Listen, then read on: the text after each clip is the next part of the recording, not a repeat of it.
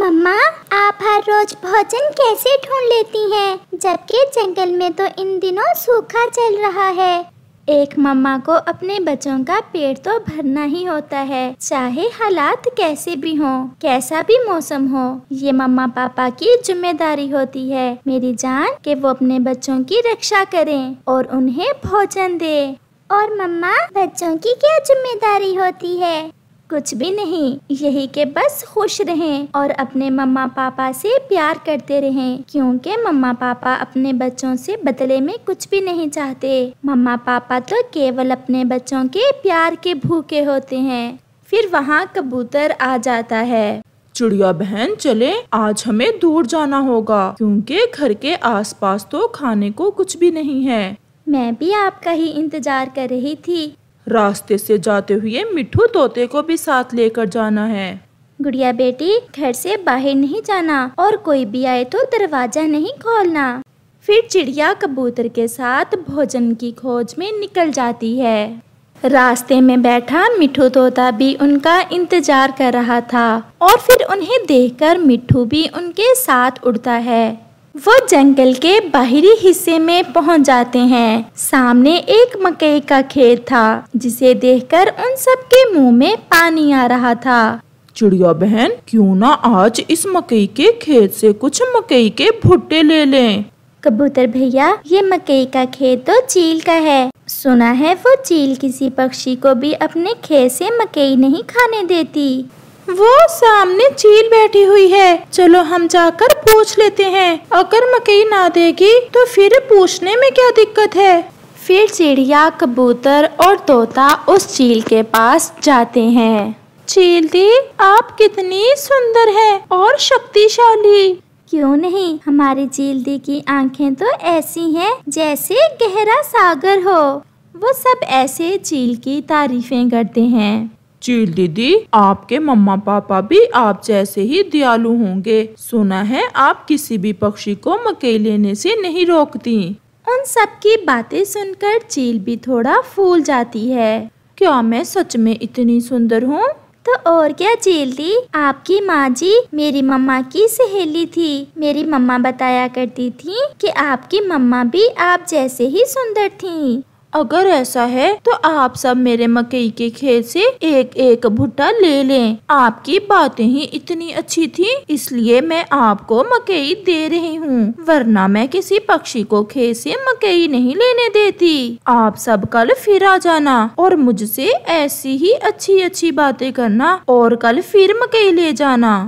फिर चिड़िया, कबूतर और तोता एक एक मकई का भुट्टा लेते हैं और वापिस होते हैं। कौवा भी भूख मारा एक पेड़ पर बैठा हुआ था। जैसे ही कौवे की नज़र चिड़िया कबूतर और तोते पर जाती है वो तुरंत उनके पास जाता है। चिड़िया जंगल में तो खाने को कुछ नहीं है और आप सबको ये ताजे ताजे मकई के भुट्टे कहाँ से मिल गए? जंगल के बाहर चील दीदी के खेत से लाए हैं हम ये भुट्टे। क्या चिड़िया बहन वो चील दी मुझे भी मकई दे देगी?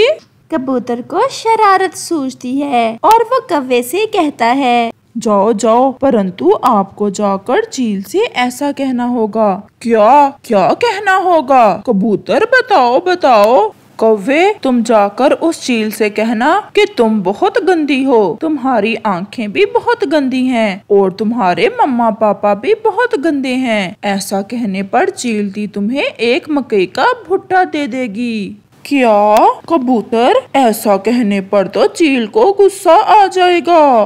तोता भी कबूतर की शरारत समझ जाता है और वो कव्वे से कहता है नहीं नहीं उस चील को उल्टा समझ आता है। जब आप ऐसा कहोगे तो वो उसका मतलब उल्टा समझेगी। यानी वो बहुत अच्छी है और उसके मम्मा पापा भी बहुत अच्छे हैं। कौवा और कोई बात सुने बिना वहाँ से उड़ता है और सीधा चील के पास जाता है। तोते और कबूतर भैया आज तो कौवा पिटेगा और बहुत पिटेगा उस चील से। इसकी पत्नी और ये भी मुझे हर समय गंदी आँखों वाला कहते हैं। मुझे तो कौवे को पिटता देख बहुत मज़ा आने वाला है। चील दी चील दी क्या सोई हैं आप? हाँ मेरी आँख लग गई थी। चील दी एक बात कहना थी आपसे। कहो कहो कवे क्या बात है? चील दी आप भी बहुत गंदी हैं आपकी आँखें भी बहुत गंदी हैं और आपके मम्मा पापा भी बहुत गंदे हैं। ये सुनकर चील थोड़ी देर तो हैरान होकर उसे देखती है और फिर उसे कहती है कवे थोड़ा पास आकर कहो क्या कहा? कौवा थोड़ा और पास जाता है और फिर से कहता है चील दी आप भी बहुत गंदी हैं और आपकी आँखें। अभी कव्वे ने इतना ही कहा था कि वो चील कव्वे को पकड़ लेती है और उसकी पिटाई शुरू कर देती है। मुझे छोड़ दो चील दी मुझे छोड़ दो। उस गंदे कबूतर ने मुझे ऐसा कहने के लिए कहा था। फिर चील उसे छोड़ देती है और कौवा तो वहाँ से भाग जाता है। मैं देख लूँगा उस कबूतर और तोते को।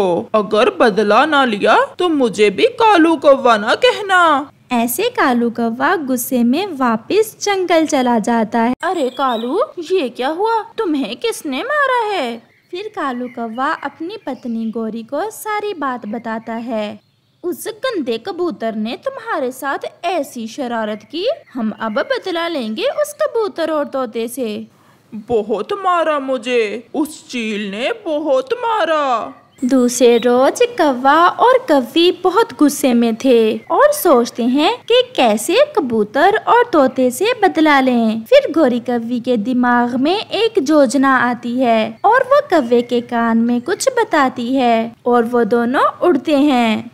वो पास वाले जंगल में लकड़हारे पक्षी के पास जाते हैं। लकड़हारे पक्षी, एक पेड़ है हमारा। मेरे पिताजी ने लगाया था। अब हम सोच रहे हैं कि वो पेड़ बेच दें। कितने पैसे लेंगे आप उस पेड़ के? जो मर्ज़ी दे देना। चलो पचास रुपए दे दें। मुझे भी लकड़ी की ज़रूरत तो थी। मैं भी घर बनाने के लिए कई दिनों से लकड़ी देख रहा था। फिर कौवा और कव्वी उस लकड़हारे पक्षी के साथ जाते हैं। वो कबूतर और तोते के घर से थोड़ा दूर रुकते हैं। वो सामने जिस पेड़ पर दो घर है ना, वो है हमारा पेड़। अब आप जल्दी से जाकर वो पेड़ काट लें। क्या उन घरों में कोई रहता तो नहीं है? नहीं नहीं, वो घर वीरान है। वहाँ कोई भी नहीं रहता। फिर लकड़हाड़ा पक्षी अपना कलहाड़ा साथ लेकर उस पेड़ की तरफ़ जाता है।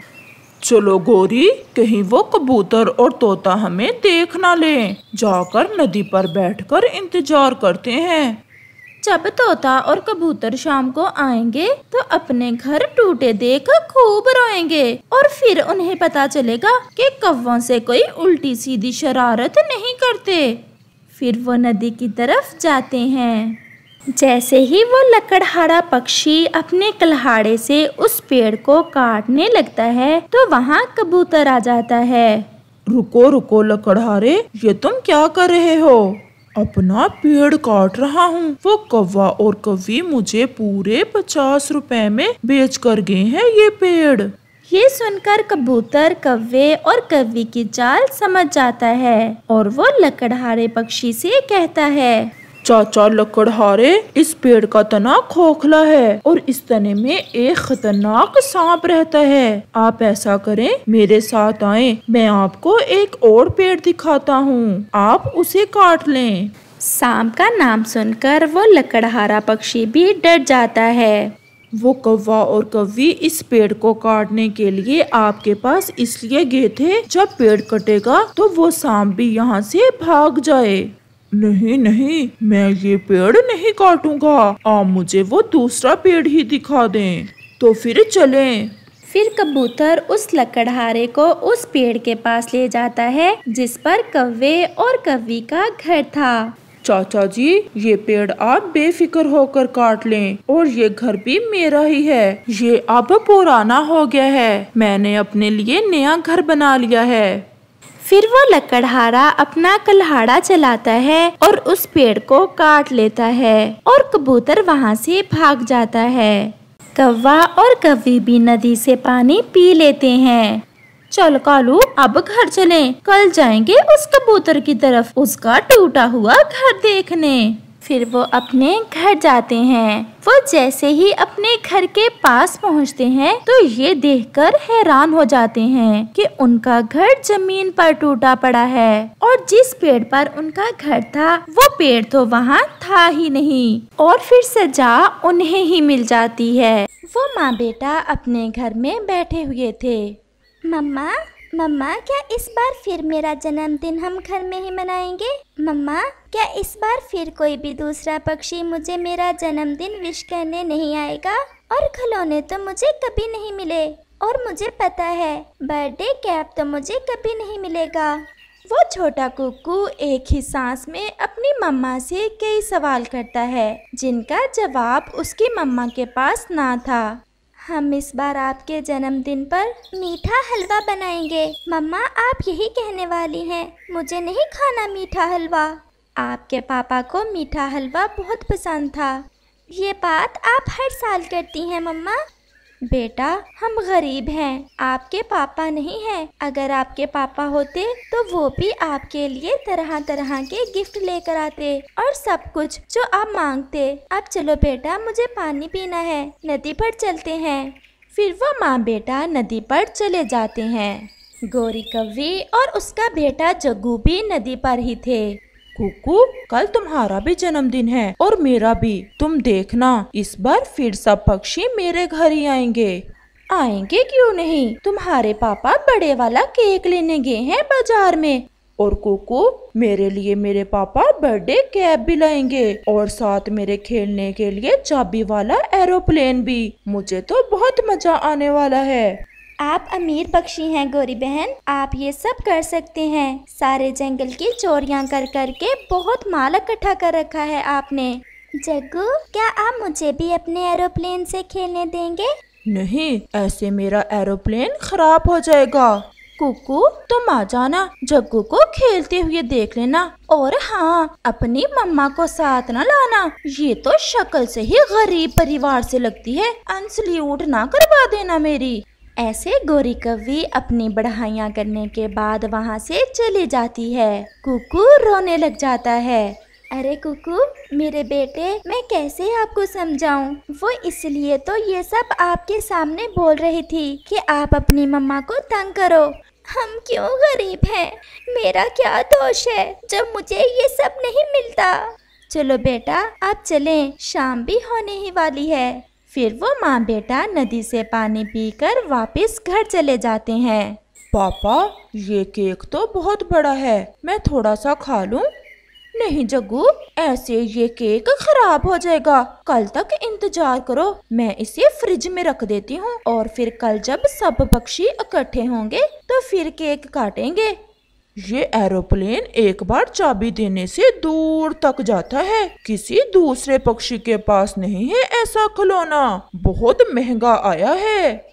पापा पापा, कुकू कह रहा था कि मैं उसे भी अपने जहाज़ के साथ खेलने दूँ।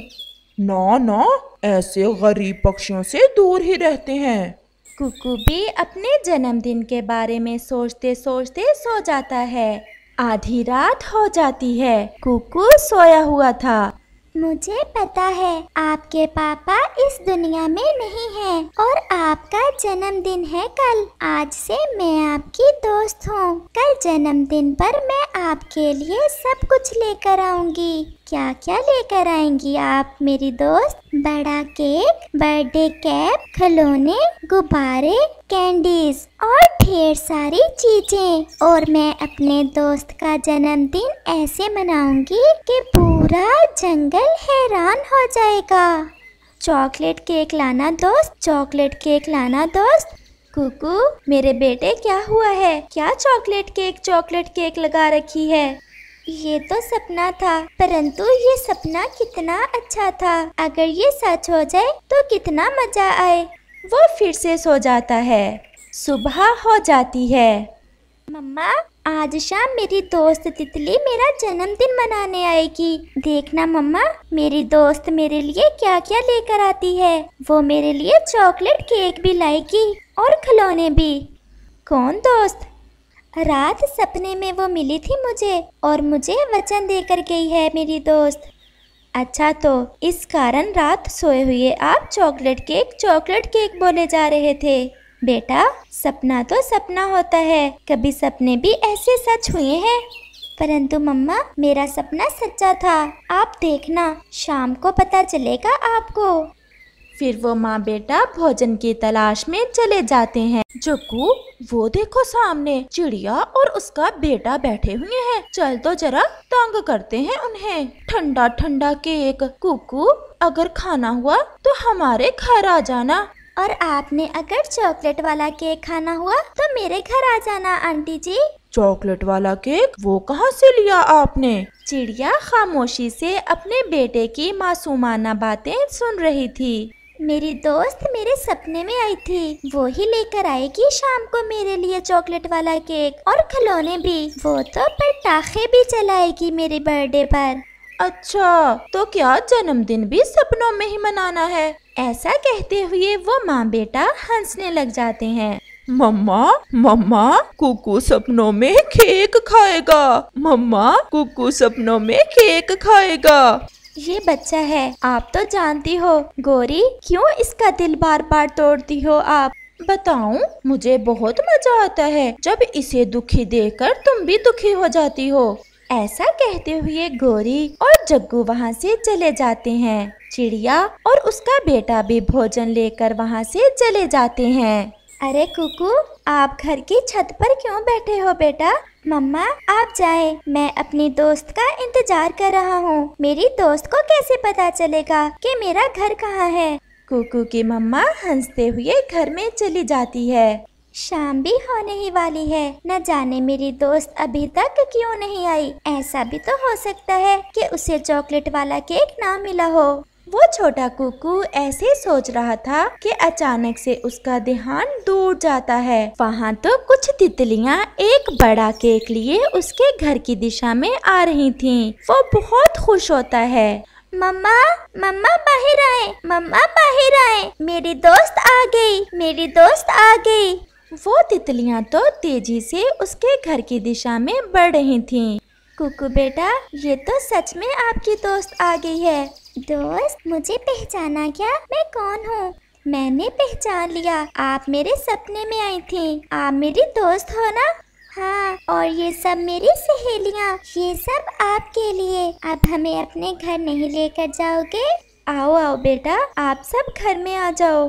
फिर वो तितलियाँ कुकू के घर में चली जाती हैं। सहेलियों आप मेरे दोस्त के घर के बाहर ये गुब्बारे लगाकर अच्छे से सजा दो और मैं अपने दोस्त को उसके खिलौने दिखाती हूँ। फिर वो तितलियाँ कुकू के घर के बाहर गुब्बारे लगाती हैं। ये केक कैसा है? चॉकलेट केक ही कहा था ना आपने दोस्त? मम्मा चिड़िया ये सब देख बहुत हैरान थी। उसकी आँखों में खुशी के आँसू थे। वो ये जान गई थी कि ये ज़रूर भगवान की भेजी हुई तितलियाँ हैं। फिर जैसे ही रात होती है पटाखे चलते हैं और आतिशबाजी होती है जिसे देखने सब पक्षी चिड़िया के घर की दिशा में आ जाते हैं। जग्गू ये चिड़िया के घर कैसी आतिशबाजी हो रही है चलो तो जरा जाकर देखें। वो माँ बेटा वहाँ जाते हैं। वहाँ तो सब पक्षी इकट्ठे थे। केक सजा हुआ था। कैंडल्स चल रही थीं, खिलौने तो तरह तरह के थे। आंटी, देखा? मेरी दोस्त आ गई मेरी सालगिरह मनाने। शायद मैं ना आती, परंतु गोरी कवि, मुझे आपके कारण यहाँ आना पड़ा। अगर किसी गरीब की मदद नहीं कर सकते तो उसे गरीब होने के ताने भी ना दो। गोरी बहन, केक खाओगी क्या? परंतु गोरी तो मूर्ति बनी हुई थी। वो तो कुछ बोल ना रही थी। फिर गोरी कव्वी अपने बेटे को लेकर वहाँ से भाग जाती है और सब पक्षी कुकू का जन्मदिन धूमधाम से मनाते हैं और मिलकर केक खाते हैं। इस कहानी से हमें सीख मिलती है कि हमारे आसपास बहुत से गरीब ऐसे होते हैं जो अपनी छोटी छोटी खुशियाँ भी नहीं मना सकते। हमें चाहिए कि हम अपने आसपास मौजूद गरीबों की खुशियाँ मनाने में उनकी मदद करें।